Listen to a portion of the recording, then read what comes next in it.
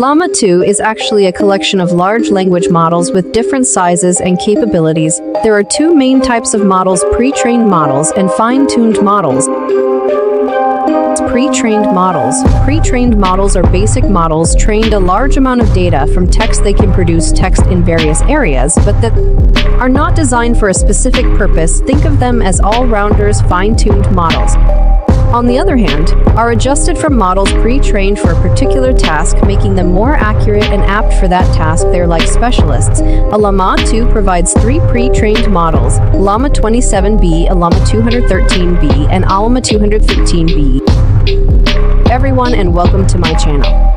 Today I'm going to be talking about Llama 2. What is Llama 2? Llama 2 is a new open source language models and it's packed with some serious firepower. It's trained on a whopping 40% more data than its predecessor a Llama 1, and the context size limit has been doubled. We're talking serious upgrades here, people, and here's the juicy part Llama 2 comes in. Three different sizes, a 7 billion parameter model, a 13 billion parameter model.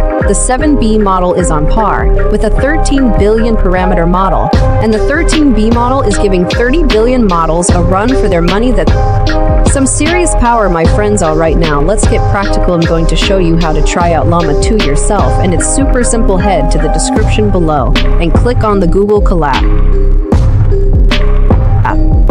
And after you click open in Colab, you can see what it does first tries to set up the web UI interface, and it tries to download the model from the particular location that we click runtime and click run all make sure you check if GPU is enabled. Like in this case T4 GPU is enabled. If you're trying to do this on your local machine, you can still go ahead download.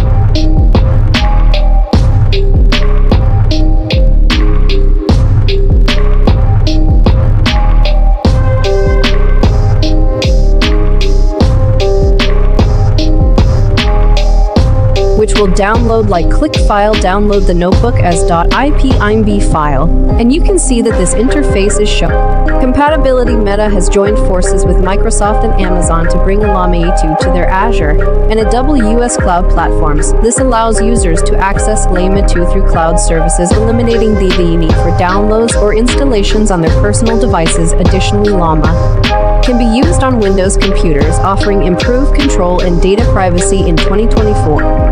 A partnership with Qualcomm will enable Llama 2 to run on devices equipped with Qualcomm Snapdragon chips, expanding AI accessibility on mobile devices. Meta chose Microsoft as its preferred partner for Llama 2, aiming to make AI easily available to everyone. Developers will have the opportunity to create models using both open and frontier models provided by Microsoft for Llama 2's commercial launch Llama 2 is now available on Windows focusing on control and data privacy, it will also be on devices with Qualcomm Snapdragon chips from 2024 integrating mobile AI into daily life Llama. 2 offers various possibilities including chatbot creation, text summaries, code generation comms or stories language translation, and collation, content creation and Answering queries integrations, Llama 2 offers integration with AI models for tasks such as computer speed recognition and sentiment analysis. For instance, it can generate image captions, a captioning model or produce voiceovers with the meta speech synthesis model major tech companies like Microsoft. Please approach the content I produced with respect and transparency.